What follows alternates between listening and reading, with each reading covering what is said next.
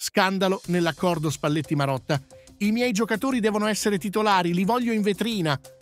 Alla vigilia della sfida contro la Francia, valida per la Nations League, la nazionale italiana è al centro di una bufera mediatica.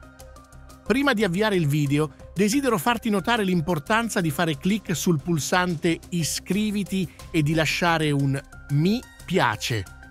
Le polemiche sono esplose soprattutto per le scelte del commissario tecnico Luciano Spalletti, che sembra ancora una volta puntare su un blocco di giocatori dell'Inter, nonostante la loro deludente prestazione agli ultimi europei. Questo avviene a scapito dei calciatori della Juventus, che sembrano destinati a rimanere in panchina, ma c'è di più. La scelta di schierare Davide Frattesi, finora mai utilizzato dall'Inter in questa stagione, al posto di Nicolò Fagioli o altri giocatori che hanno avuto più minutaggio, ha fatto infuriare molti tifosi italiani. Perché puntare su un calciatore che non ha ancora dimostrato nulla in campo, mentre si lasciano in panchina giocatori con maggiore esperienza e forma?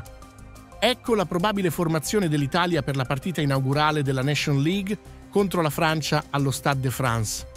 Le ultime prove tattiche di Spalletti hanno sciolto gli ultimi dubbi. Giovanni Di Lorenzo è stato preferito a Federico Gatti, Alessandro Bastoni ha vinto il ballottaggio con Alessandro Buongiorno e Samuele Ricci è stato scelto al posto di Nicolò Fagioli.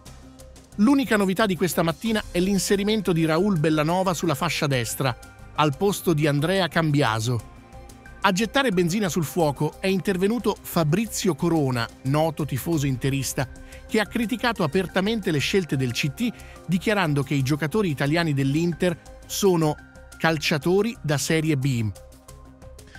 Prima di tutto diciamo che i giocatori della nazionale, tutti, a parte Donnarumma e forse Bastoni, in nessun campionato del mondo giocherebbero. Cioè nei campionati importanti parliamo Inghilterra, eh, la Spagna, Barella, la Francia, dai, la Fra- Barella. Neanche Barella. Se Barella lo metti nel Manchester City, nel Real Madrid, nel Manchester United, nel Liverpool, gioca. Prendi le squadre più forti del nel, Ba- nel Borussia Dortmund, Barella non gioca, te lo dice un interista. Gioca di forse Bastoni bene, e Donnarumma. Gli altri sono improponibili. Prima analisi, perché a differenza di tutti gli altri, per esempio Scamacca, tecnicamente non è male. Il resto dei giocatori, forse Barella, insomma, vabbè, ma Di Marco tolto dal contesto Inter, se lo levi Di Marco dal contesto Inter è un giocatore di serie D, te lo dice un interista sfegatato. Barella nel contesto Inter funziona, Darmian nel contesto, ma è gente che non sa fare un dribbling, non si sa smarcare, non sa palleggiare. Scamacca almeno un po' di tecnica ce l'ha, però se non hai voglia.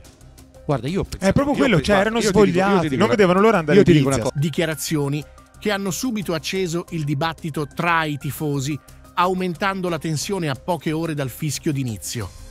E voi da che parte state?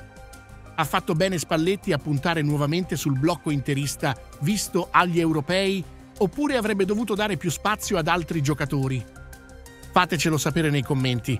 Chi vorreste vedere in campo contro Mbappé e compagni?